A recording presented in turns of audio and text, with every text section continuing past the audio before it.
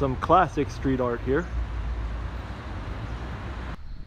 It's Belgrade, although I'll probably say Belgrade and Belgrade just to be annoying. It's 3D. There are so many murals in Belgrade. Nice stash.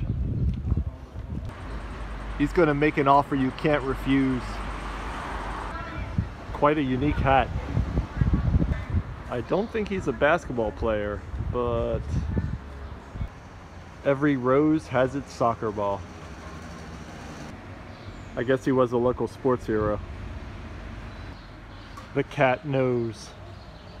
I wanted to go to this coffee shop, but it's closed this week. That sucks. Koppa Specialty Coffee. That works for me. The place is quite small, but it's got everything you need.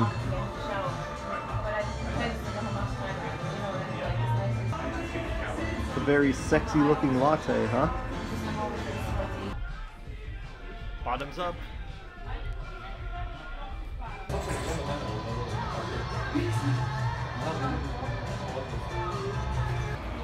In the land of pigeons, the rooster is king. This is the Nikola Tesla Museum.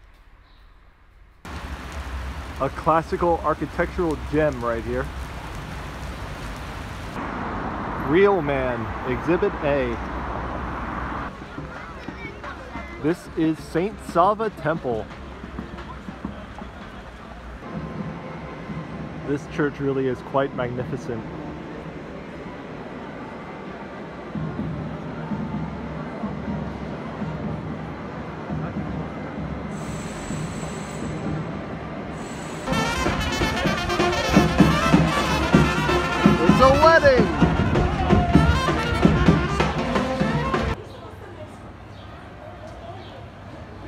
Kafeterija Magazin 1907.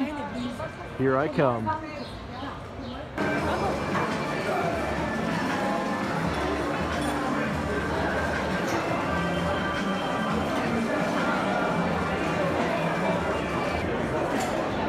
This place is massive. Quite a large coffee area. And the latte looks quite good. Here's a nice promenade along the Sava River. Very unfortunate to see. This blue submarine was beached on the Belgrade waterfront. Some nice street art. Interesting. Hmm. Now if I were an artisan coffee shop, where would I hide myself? Where would I possibly hide myself?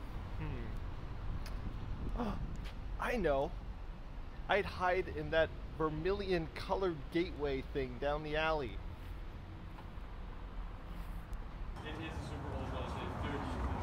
Well, it looks like I'm not the first to find it.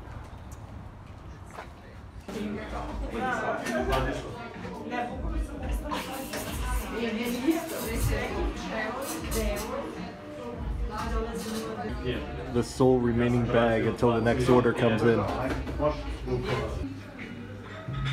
Nice cappuccino. There's more seating upstairs, so let's check it out.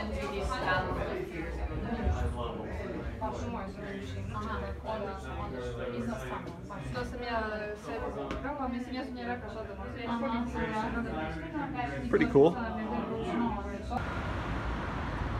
This country loves political messages on the street. A lot of words here. Yet another political message. Hi there. This guy thinks the future is bright. What you looking at? Why so serious? Do all good referees smoke? I think this was Meatloaf in his younger years. This guy loved his blue fire hydrant.